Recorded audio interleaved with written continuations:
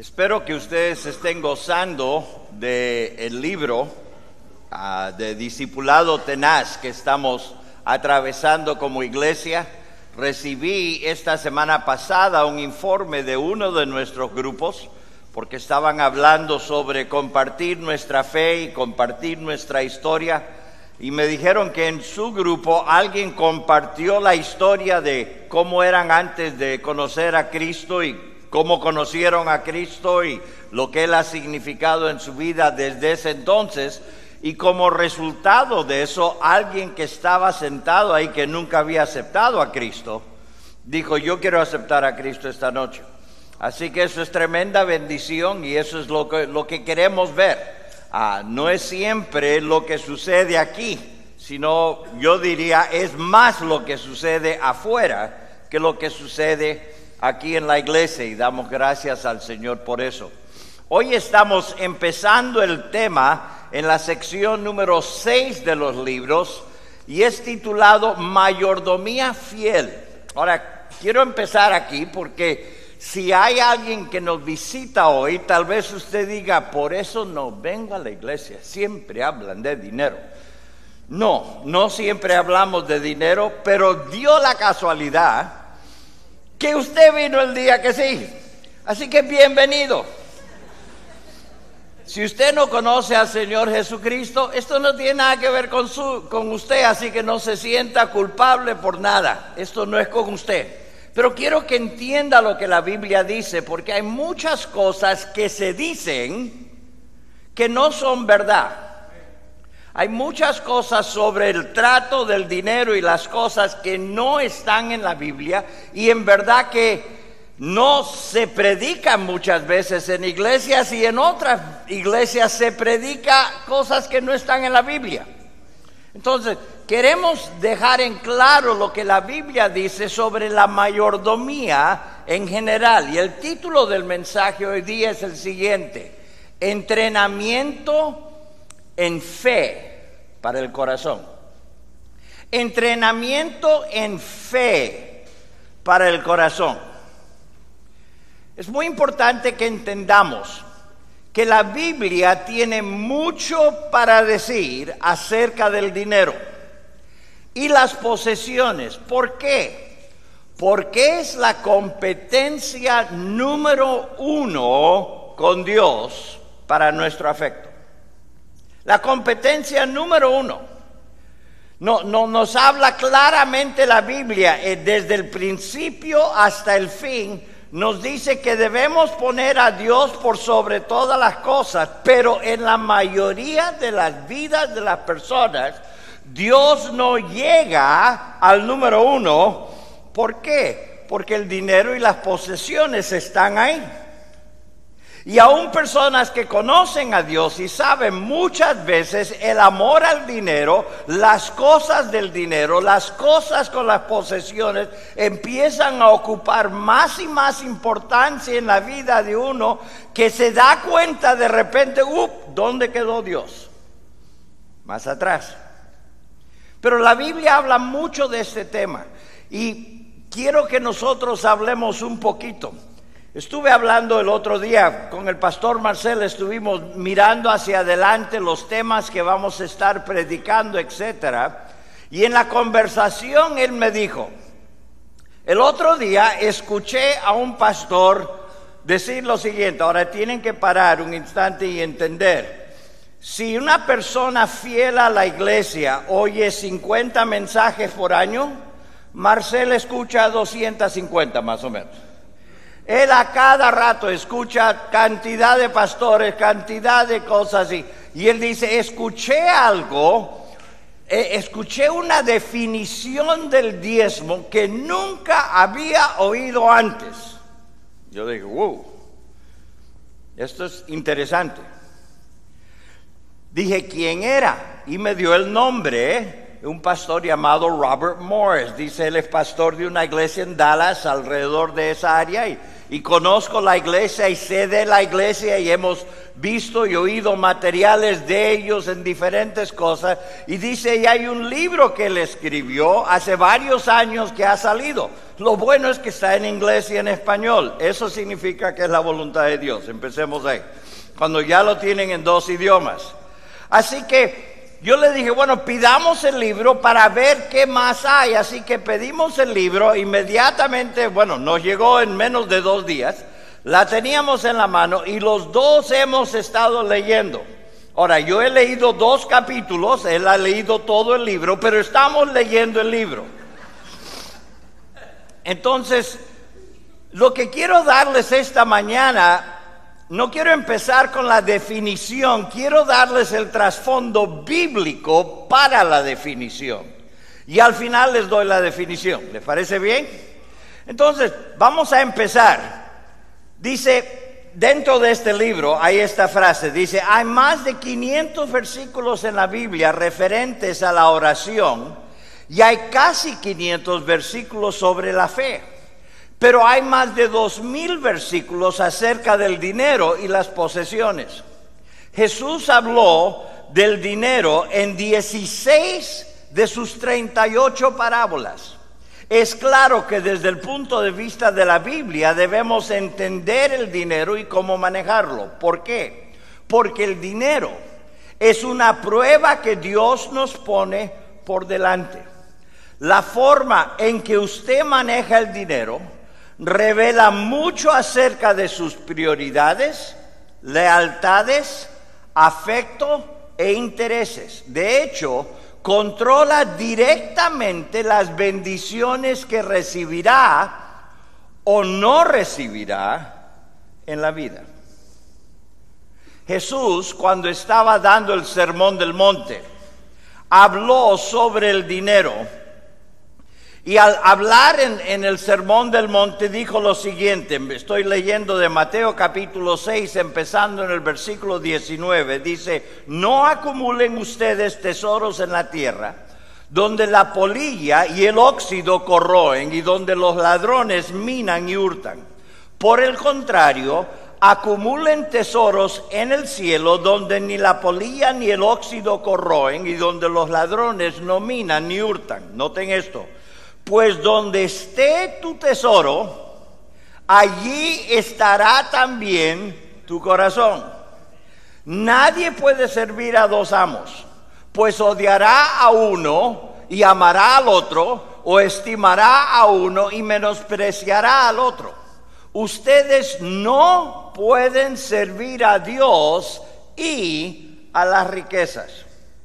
Por lo tanto les digo, no se preocupen por su vida, ni por qué comerán o qué beberán, ni con qué cubrirán su cuerpo. ¿Acaso no vale más la vida que el alimento y el cuerpo más que el vestido? Miren las aves del cielo, que no siembran, ni cosechan, ni recogen en graneros, y el Padre Celestial las alimenta. ¿Acaso no valen ustedes mucho más que ellas? ¿Y quién de ustedes? Por mucho que lo intente, puede añadir medio metro a su estatura. No que algunos no lo han intentado, pero eso es otra cosa. ¿Y por qué se preocupan por el vestido? Observen cómo crecen los lirios del campo, no trabajan ni hilan, y aún así ni el mismo Salomón con toda su gloria se vistió como uno de ellos. Pues si Dios viste así a la hierba que hoy está en el campo y mañana se echa en el horno, ¿no hará mucho más por ustedes, hombres de poca fe? Por lo tanto, no se preocupen, no se preocupen ni se pregunten qué comeremos o qué beberemos o qué vestiremos, porque la gente anda tras todo esto, pero su Padre Celestial sabe que ustedes tienen necesidad de todas estas cosas. Por lo tanto, busquen primeramente el reino de Dios y su justicia, y todas estas cosas les serán añadidas.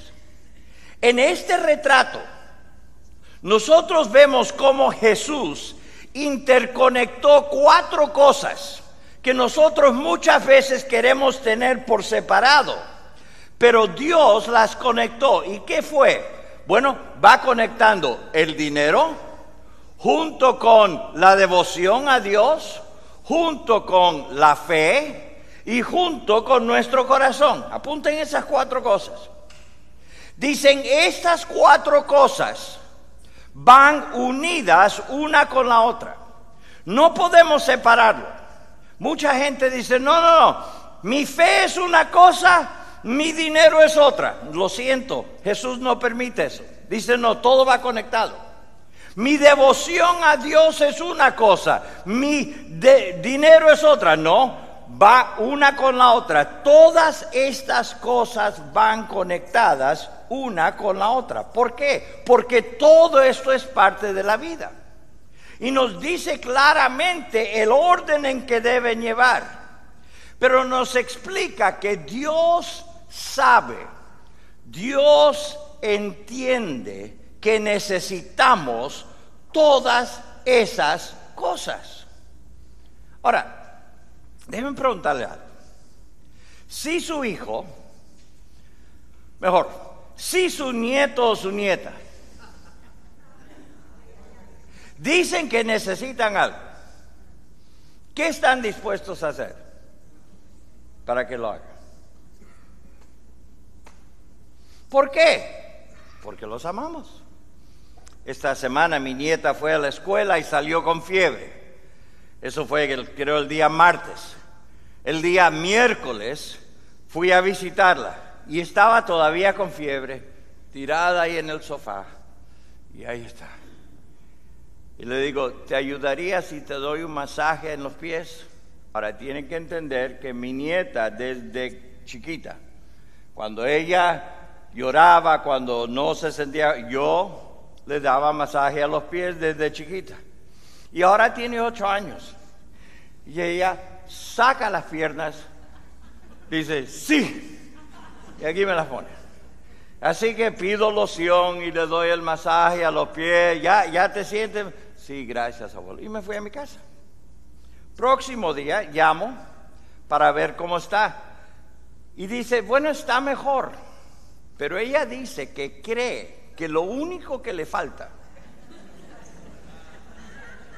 es que otro masaje a los pies. Pastor, ¿qué hizo usted? dejé mi oficina, que el pastor Marcel se encargue de lo que venga. Fui a darle importancia a lo importante, le di su masaje en los pies y dice, ah, ya estoy bien. Si yo, siendo humano, hago eso, ¿cuánto más hará Dios con sus hijos? ¿Cuánto más hará Dios con sus hijos? Vivimos tan preocupados por las cosas que Dios dice, yo me encargo, si sencillamente me pones primero. Ponme primero. Ponme primero. Ahora, quiero que noten algo muy importante. Usted no puede estar bien con Dios y estar mal en el tema del dinero. Quiero repetir esto. A algunos les va doler los pies un poquito porque le están pisando los callos, pero, pero preste atención. Usted no puede estar bien con Dios y estar mal en el tema del dinero. Y no estoy hablando solamente del dar. Estoy hablando en el manejo del dinero en general. No podemos decir estoy bien con mi Dios, pero no estoy manejando mi dinero como Él lo pone. No, no van juntos. Para estar bien con Él, tengo que manejar mi dinero como Él lo dice. Y así poner las cosas en el orden y la prioridad de vida para que Él entonces pueda obrar a través de todo esto. Déjenme darles tres principios esta mañana. Número uno, Dios tiene que ser primero. Dios tiene que ser primero. Y para ello encontramos en la Biblia, desde el principio hasta el fin, el principio del primogénito y los primeros frutos. El primogénito y los primeros frutos. Como muchos que, están en Facebook saben, yo estoy atravesando Éxodo ahora. Y, en Éxodo el capítulo 13 están saliendo, acaban de salir de Egipto, las diez plagas, por fin en el capítulo 12, salgan, váyanse de aquí, salgan. Primer versículo del capítulo 13, el Señor habló con Moisés y le dijo, conságrame todo primogénito todo el que abra matriz entre los hijos de Israel, lo mismo de los hombres como de los animales, me pertenece. Ahora noten eso. Lo primero le pertenece a quién? A Dios. Ahora, algunos dirán, bueno, no, no entiendo todo esto. Vayan a la próxima, por favor. No entiendo todo esto. Bueno, no, él, lo va explicando en el versículo 11 y dice, cuando el Señor te haya introducido en la tierra de los cananeos y ya te la haya entregado conforme al juramento que a ti y a tus padres les hizo, dedicarás al Señor todo aquel que abra matriz, lo mismo que toda primera cría de tus animales. Todos los machos serán del Señor. Y las primeras crías de los asnos las redimirás con un cordero. Pero si no las redimes, deberás romperles el cuello. También deberás redimir a tu primogénito. Y el día de mañana, cuando tus hijos te pregunten, ¿y esto qué significa? En otras palabras, papi, acaba de nacer la primera oveja de, de esta otra oveja, acaba de nacer. ¿Por qué la mataste? ¿Por qué? Acaba de nacer el primer asno. El primer asno, y, déjeme serle sincero, no entiendo por qué el asno y el hijo van igual, pero menciona el asno. Y dice, el asno la puedes redimir, en otras palabras, puedes traer una oveja y puede morir en vez del asno para que puedas usar el asno en todo lo demás. Y también dice, todo primer hijo deberá redimirlo. En otras palabras, no tienen opción de matar al hijo mayor. Gracias a Dios. Ok, no, no hay esa opción. Tienen que redimirlo.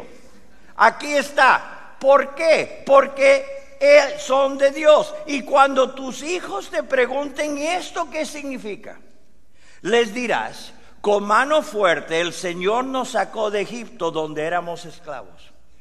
Como el faraón se empecinó en no dejarnos ir, el Señor hirió de muerte a todos los primogénitos que había en Egipto, es decir, tanto a los primogénitos humanos como a las primeras crías de los animales. Por eso yo ofrezco en sacrificio al Señor todo primogénito macho y redimo al primogénito de mis hijos. Así que esto se te servirá de señal en la mano y como recordatorio delante de tus ojos, pues el Señor nos sacó de Egipto con mano fuerte. Dice, ¿por qué? ¿Por qué tengo que darlo primero? Y él dice, por la sencilla razón de que Dios nos sacó de Egipto. Dios nos sacó de Egipto. Y debido al hecho de que Dios nos sacó de Egipto, para que yo nunca me olvide que yo era esclavo, que mis padres eran esclavos, que mis abuelos eran esclavos, que por 400 años vivimos en esclavitud. Cada vez que nace lo primero, eso le pertenece a Dios. ¿Por qué? Porque me sacó de esclavitud. Esa era la razón. Ahora, sigue adelante cuando llegamos a Éxodo, el capítulo 23, versículo 19, dice lo siguiente, traerás a la casa del Señor tu Dios los primeros frutos de tu tierra. Ahora tenemos no solamente las personas, los animales, pero los frutos de la tierra. Dice, quiero que entiendas que lo primero es de Dios. Otras versiones dicen, lo mejor de la primera cosecha. Es interesante. No dice la décima porción de la primera cosecha. Es la primera porción de la primera cosecha. Lo primero es de Dios. Para decir que tengo a Dios primero en mi vida, tengo que reconocer que todo le pertenece a Él, pero en una forma muy, muy literal. Lo primero, la primera décima parte le pertenece a Él. Ahora, el principio de la primera cosecha en la Biblia es, es poderosa. Quiero leerles algo que salió del libro. He oído decir que cada primera cosa que se da nunca se pierde.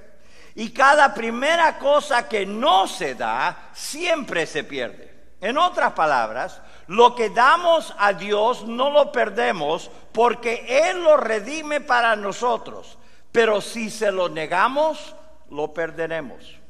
Jesús hizo eco de este principio cuando dijo, porque todo el que quiera salvar su vida, la perderá. Y todo el que pierde su vida por causa de mí, la hallará. Lo vemos tan temprano en la Biblia como en Génesis el capítulo 4 con Abel, cuando dice, Abel también presentó una ofrenda, las mejores partes de algunos de los corderos que eran primeras crías de su rebaño. Y el Señor aceptó a Abel y a su ofrenda. Se le instruyó que dieran lo primero al Señor sin saber si iba a haber más o no. Ahora noten, cuando, cuando, una, cuando un animal da su primera cría, no sabemos si va a dar otra o no, ¿sí o no? No sé cuántos se han criado en el campo y cuando hay una, una vaca o cuando hay un puerco lo que sea, la primera cría, ok, eso es, eso es bueno. Y Dios dice, ahora vas a sacrificar eso. Y, y Dios, ¿y qué pasa si no viene otro? Dice, bueno, eso, eso es fe. Eso es fe. Dando lo primero siempre requiere fe. Porque yo no sé si va a haber más o no. Pero él dice, dame lo primero. ¿Qué estás diciendo? Eh, número uno, me estás obedeciendo, me estás poniendo primero. Número dos, estás demostrando por fe que yo voy a darte más. Dice, se nos instruye a darle a Dios antes que sepamos si va a haber suficiente para todo lo demás o no. Y a eso se le llama fe. Y nunca olviden, según Hebreos capítulo 11, pero sin fe es que imposible agradar a Dios. Sin fe, si usted solamente hace las cosas que porque las ve, eso no es fe.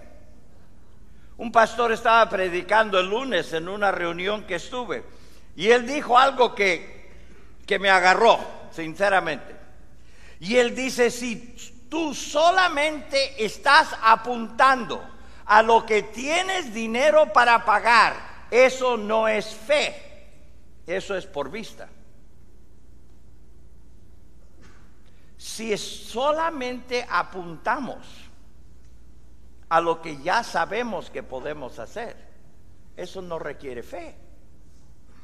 Piensen en eso. Sin fe es imposible agradar a Dios. Esto es, en resumen, el diezmo. Estamos haciendo qué? Dando lo primero a Dios.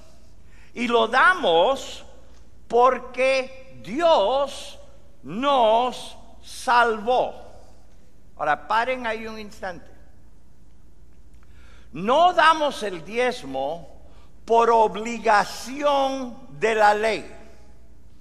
No damos el diezmo porque si no, no nos dejan salir por la puerta al final. No damos el diezmo porque si no nos van a mandar una cuenta. No damos el diezmo solamente para decirle, ok Dios, ahora tú me debes. Y eso es lo que muchos hacen. Yo doy, pero tiene que... No, no, no. ¿Por qué damos el diezmo? Porque Él nos salvó. Cada vez que llenamos el cheque, cada vez que, que sacamos el teléfono y damos, cada vez que damos, dice, esto es para que se acuerden. Dios nos salvó. Y yo lo pongo a Él primero. Lo damos primero creyendo por fe que Dios proveerá lo demás. Lo demás. Muchas veces es como si tuviésemos diez manzanas y Dios dice, dame el primero. Y decimos, pero tengo que pagar la renta. Y damos tres, tres nos comemos, se come la renta. Y después está el carro, después está el seguro, después está la comida, después la ropa. Y ahí tuve que ir al hospital. Y llega última manzanita. Y empezamos a morderlo y darle la vuelta para que no parezca. Se dice, pastor, ¿por qué no hace esto en vivo? Lo hice en vivo cuando teníamos cuatro cultos y al final de ese domingo casi me muero por todas las benditas manzanas que me comí. Así que no vamos a hacer eso en vivo otra vez. Pero a veces lo que pasa es, es, es que no es que no amamos a Dios, pero le damos las pepas nomás al final. Él dice, no, me das la primera manzana por fe que yo puedo hacer todo lo demás. Me das la primera manzana y yo voy a redimir esa manzana para ver que haya suficiente para todo lo demás. Eso es ponerlo a él primero. Eso es por fe. Segundo principio sobre el cual está basado esta definición que les voy a dar más tardecito. Lo que es de Dios es consagrado santo. Lo que es de Dios no es mío. Lo que es de Dios no me toca a mí decir qué se va a hacer con lo que es de Él. Lo que es de Dios es consagrado. Después de Génesis, Éxodo, Levítico, Números y Deuteronomio, Moisés muere y entran ahora a la tierra prometida. ¿No es verdad? Y llegamos al libro de Josué. Y en el libro de Josué, el capítulo 6, vemos estas declaraciones, estas instrucciones que Dios le da a Josué. Escuchen bien. Pero al tocar los sacerdotes la bocina por séptima vez, Josué ordenó al pueblo, griten con todas sus fuerzas porque el Señor les ha entregado la ciudad y será destruida en honor al Señor con todo lo que hay en ella. Solamente quedará la vida de Raab la ramera y los que estén en su casa, porque ella escondió a los hombres que enviamos a reconocer el lugar. Y ustedes tengan cuidado de no caer bajo condenación, no toquen ni tomen nada de lo que está bajo maldición para que el campamento de Israel no sea destruido y perturbado. Todo lo que sea de plata y oro y los utensilios de bronce y de hierro se consagrarán al Señor y entrarán en su tesoro. Ahora quiero que noten algo. Jericó fue la primera ciudad en la tierra prometida. La primera ciudad que encontraron. Y dice, y todo debía ser o bien destruido o consagrado al Señor para ser parte del tesoro. Primero. Ahora, algo interesante que yo veo. Fue el primero y por fe, creyendo lo que Dios les había dicho, venían muchos más. Pero lo primero, en su totalidad, era de quién? De Dios. De Dios. Y uno dice, ay, pastor, pero, pero ¿cuánto se malgastó? Todas esas pérdidas, todas esas cosas bonitas, toda esa obra de arte, todos esos tejidos que habían de Egipto y de Babilonia, todas esas cosas en las casas de las personas, todo eso, ¿por qué malgastarlo y destruirlo? Bueno, permítame un segundo. ¿Qué derecho tenemos nosotros de decirle a Dios lo que Él debe hacer con lo que es suyo. A nosotros no nos incumbe determinar lo que es mejor con lo que le pertenece al Señor. No nos toca. Si Dios dice, bótalo, bótalo. ¿Por qué? Porque eso es de Dios. Eso no es tuyo, eso no es mío. ¿Cuál fue el problema? Cuando llegaron ahí, había un señor y él dijo, esto se va a echar a perder si lo destruimos. Empieza el capítulo 7 de, de Josué y dice, pero los hijos de Israel cometieron una grave falta.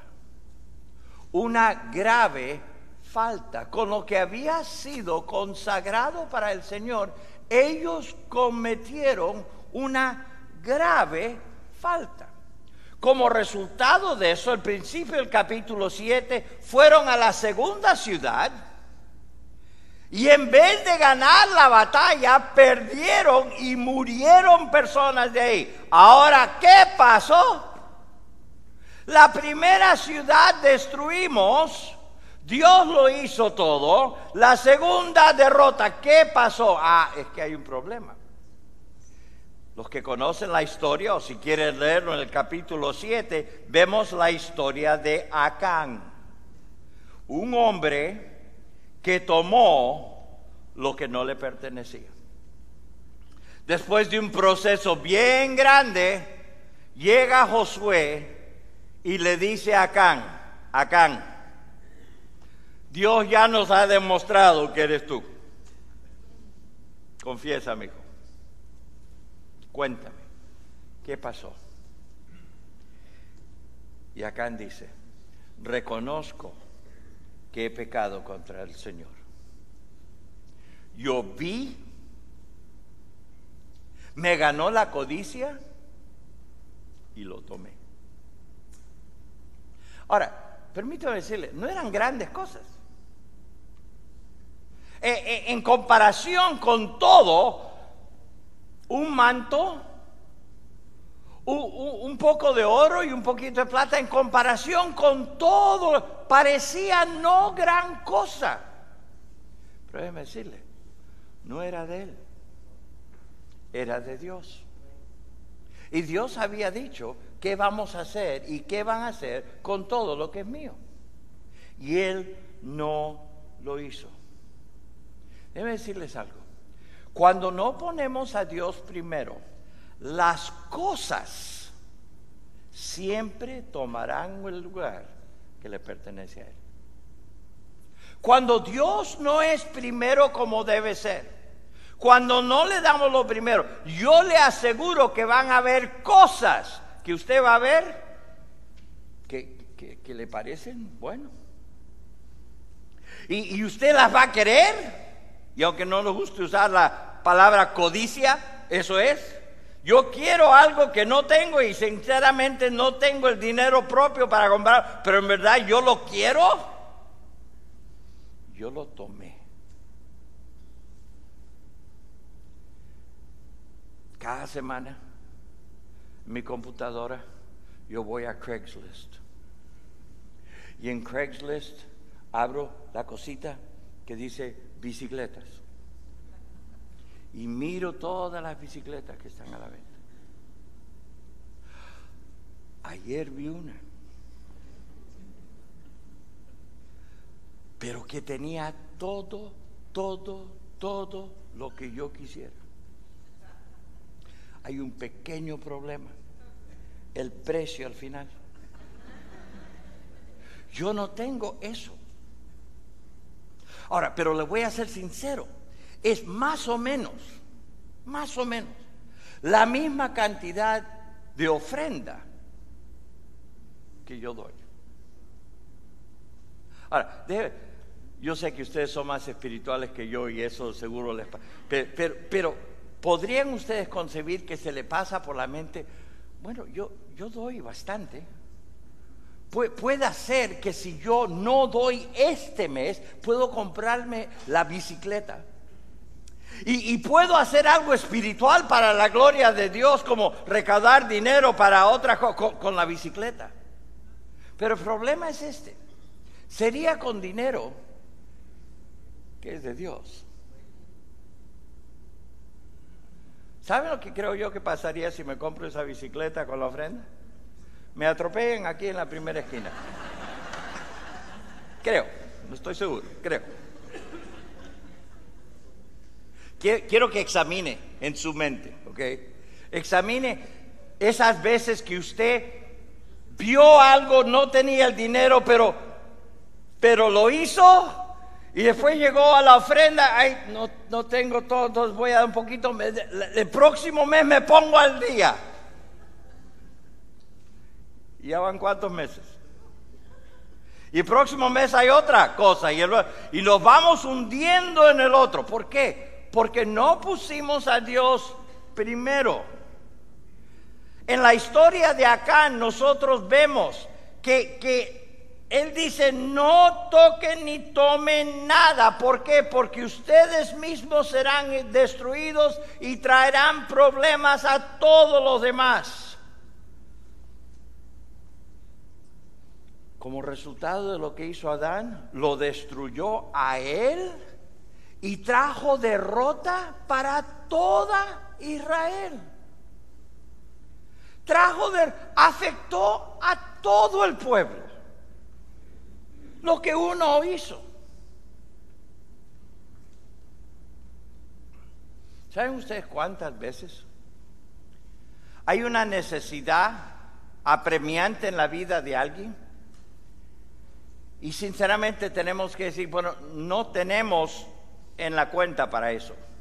No, no tenemos cómo ayudarle. Muchas veces hay personas generosas y mencionamos y en su generosidad van más allá y podemos suplir. Y eso es bueno. Eso es muy bueno. Pero ¿saben algo? Si todos dieran lo primero, no habría necesidad de eso. Cada persona que no diezma afecta a toda la iglesia. Ay, pastor, hable de algo bonito. Hable, pero, pero entiendan. No estoy diciendo esto antes de recoger la ofrenda, eso ya se dio. Esto es para que entendamos lo real, lo importante, lo urgente que es para todo lo que el Señor hace y quiere hacer. Ahora, lo interesante de esta historia de acá, esto no fue un caso aislado para Israel. Inclusive al final del Antiguo Testamento, en el libro de Malaquías, el profeta le dice esto al pueblo de Israel. ¿Habrá quien pueda robarle a Dios?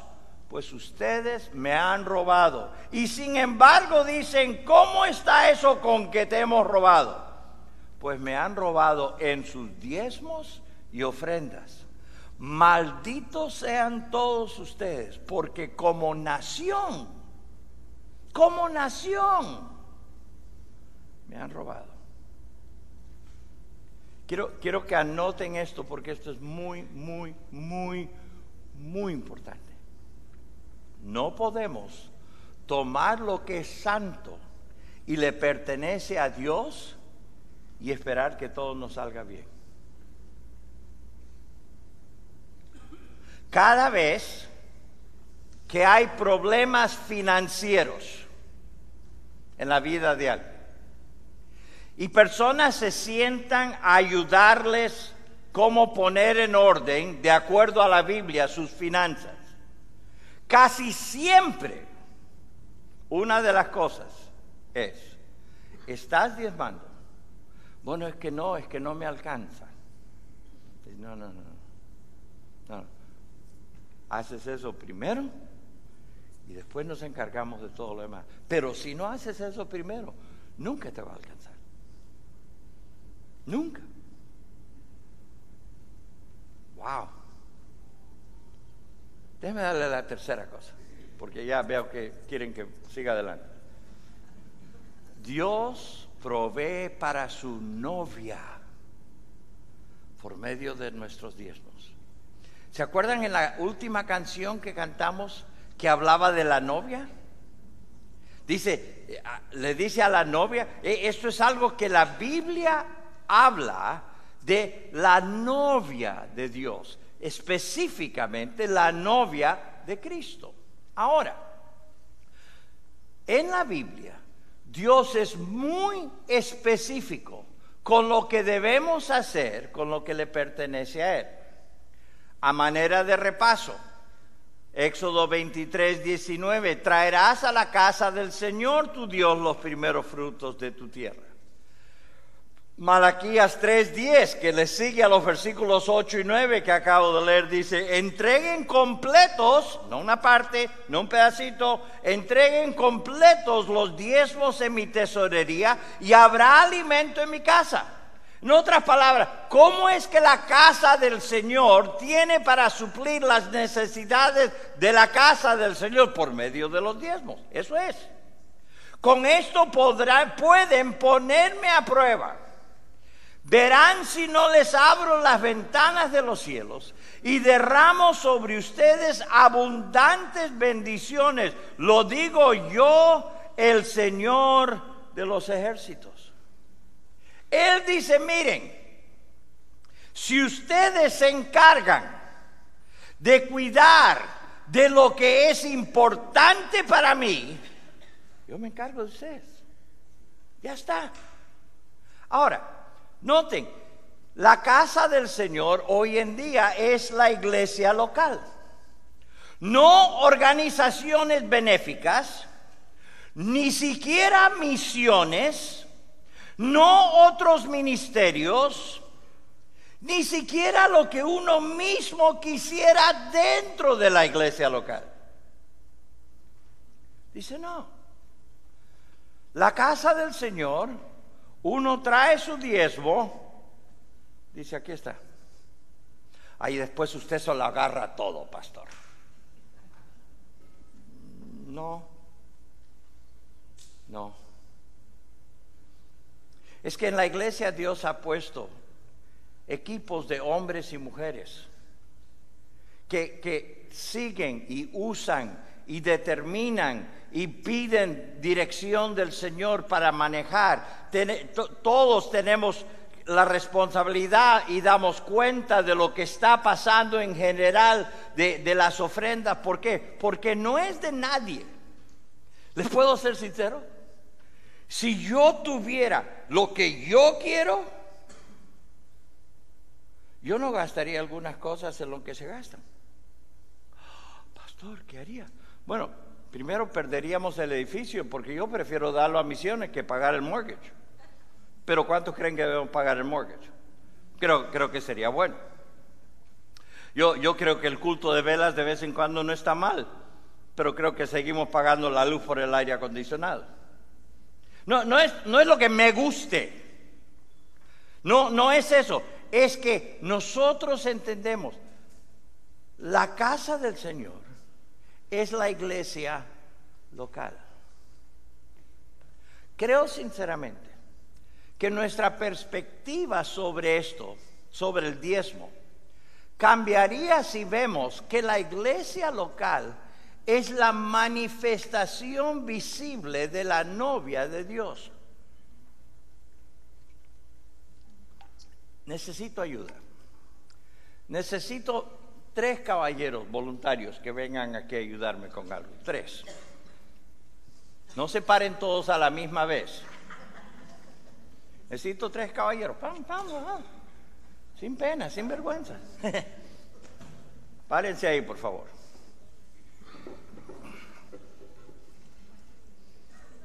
Pónganse en el orden que. Ahí está. Miren, miren ahí cómo aparece. ¡Wow! Ahora, Vamos a suponer que yo me voy de viaje, Voy a, voy a estar fuera mucho tiempo. Yo solito, no voy a llevar a mi esposa, sí mi bicicleta, pero no mi esposa. Voy a estar fuera por mucho tiempo, pero no la quiero dejar a ella abandonada. Así que voy a hacer lo siguiente. Cada mes te voy a mandar a ti 10 mil dólares. Cada vez te voy a mandar 10 mil dólares. Cada mes te voy a mandar 10 mil dólares. ¿Le gustó eso? Inmediatamente el pastor, vaya de viaje. ¿Ok? Entonces, aquí está, perdón, ven, pero lo ven arriba, ¿no? Ah, muy bien.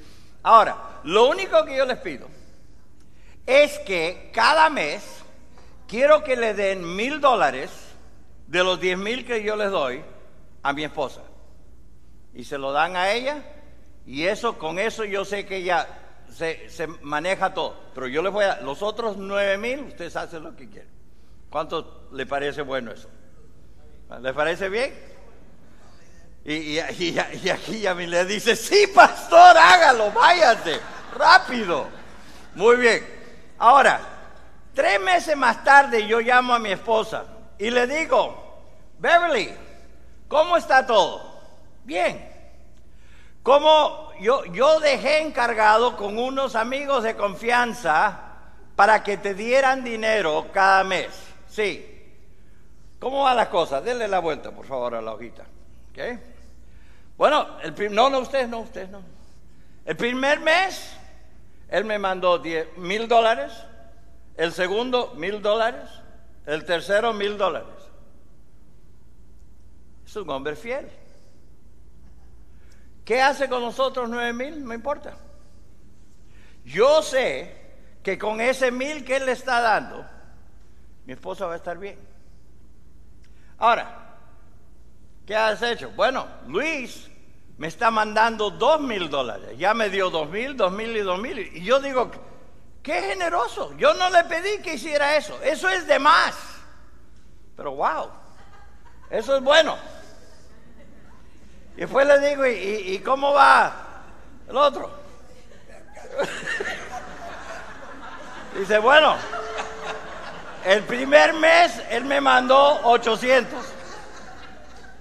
El segundo mes me dio 300, pero me dijo que con esos 300 vaya y que yo me compre una licuadora nueva porque es más saludable y con eso hacemos frutas y, vegetales y jugos y así voy a hacer mejor. Y yo le digo, ¿y, quién es él para decirte que tome frutas y vegetales? Y me dice, no, me dio los 300, pero me dijo, quiero que hagas eso.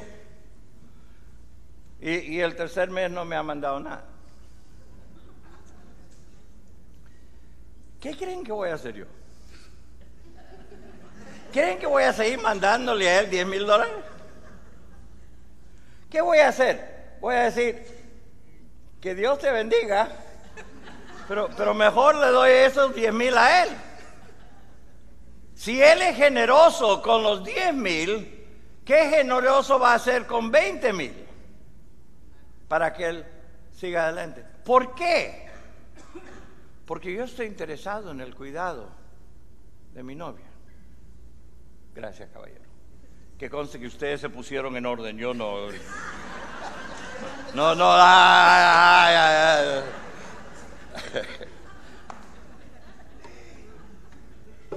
Ahora, con esa perspectiva, Es lo que nosotros tenemos que, que ver y ver entonces esta definición que les dije al principio. Y esta es la definición, escríbanlo por favor. El diezmo es la primera décima de sus ingresos. No la última, no 3%, ni nos está pidiendo el 15%. El diezmo es los primeros 10%. Cuando usted recibe su cheque, cuando usted recibe un regalo, cuando usted recibe algo, la primera décima de eso, Dios dice, porque te salvé, eso es mío. Ahora, una vez más, si usted nunca ha aceptado a Cristo, si usted nunca ha recibido esa salvación, si usted nunca ha, visto lo que es pasar de la esclavitud al pecado y todo eso a la vida eterna y abundante que Dios, yo sé que usted no va a entender lo que estoy diciendo.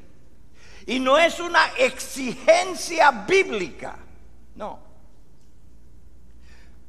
Pero los que hemos, los que sabemos cómo era vivir sin Él, y que ahora gozamos de la vida con Él. Cada vez que recibimos algo, sabemos, esto es de Él. Y Él me salvó. Él me dio libertad. Él me ha perdonado los pecados. Y por eso, la primera décima de todo lo que recibo, se lo doy a Él. El diezmo es la primera décima de sus ingresos dada a la iglesia local. Usted dice, pero pastor, pero yo doy a los pobres y eso está muy bien. Yo creo que eso es fenomenal. Pero no con lo que le pertenece a Dios. Eso, Dios dice, con esto es que cuido mi novia. Con esto es que hago esto. Y, noten que cuando es dada a la iglesia local es sin ser designada. En otras palabras, yo no determino lo que pasa con mi diezmo. Ahora, con todo lo demás que yo doy, sí, yo puedo determinar.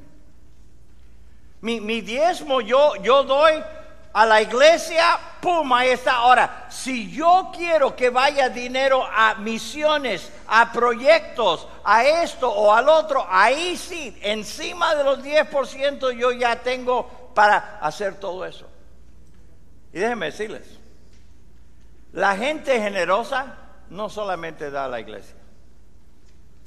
La gente generosa da donde Dios le dice, está aquí, de allá.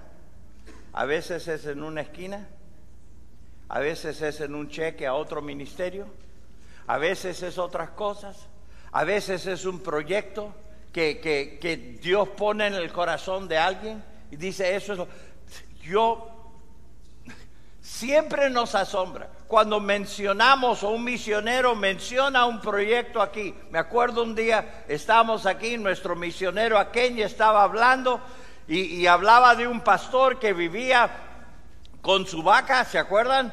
De la vaca y la venta, y que se le murió la vaca. Yo estaba atrás y Janet estaba a mi lado y dice, hoy vamos a comprar vacas.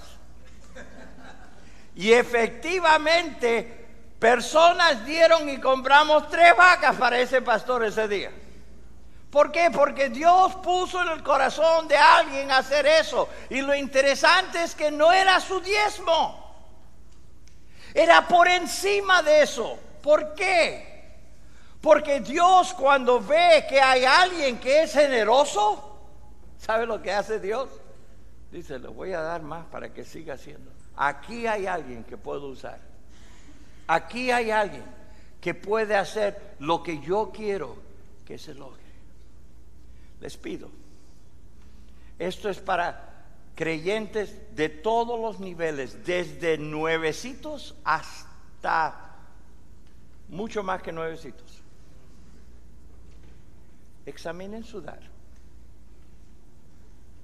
Yo creo que algunos se van a dar cuenta que no dan la primera décima, dan una décima, pero normalmente es más abajo. Hay otra prioridad.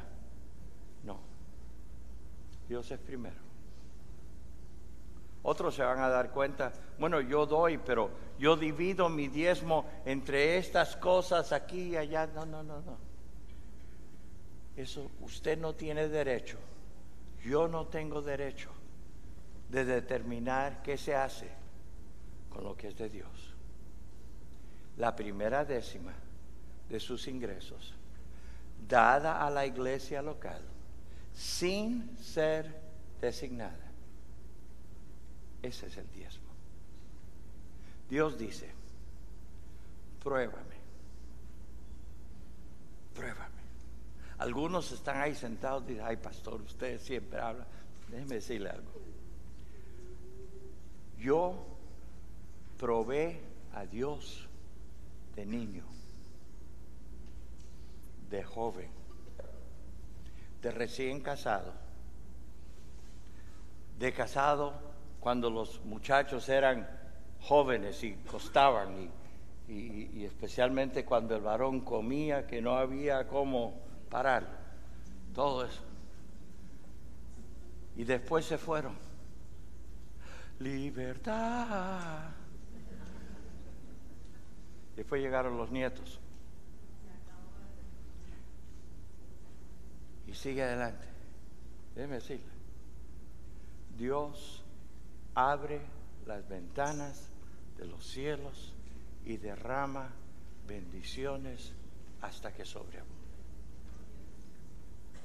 Yo no doy para recibir más. Yo doy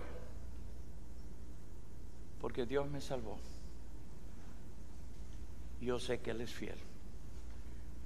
Y quiero que en cada aspecto de mi vida Él sepa que Él es número uno. Les hago recordar lo que vimos anteriormente. Usted no puede estar bien con Dios y estar mal en el tema del dinero. Oremos, por favor. Padre, vengo a ti esta mañana agradecido, Señor, porque sé que lo que he predicado es verdad. Sé que es tu palabra.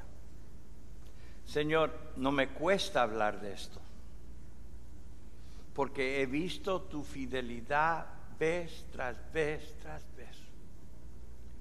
Lo he visto, Señor, de niño con personas que vivían en casas con pisos de tierra que empezaron a darte la primera décima de lo que recibían. Y tú los has bendecido inmensamente. Señor, si solamente fuera eso, yo podría predicar este mensaje sin problema alguno.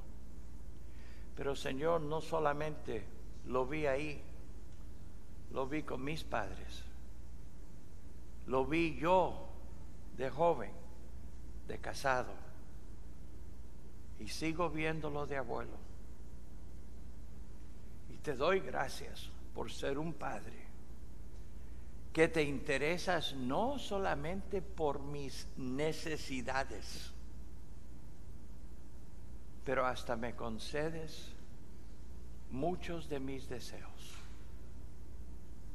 Y Señor, por eso por eso, comparto estas grandes verdades para que otros gocen de la vida abundante y la abundancia que tú quieres para cada uno de tus hijos.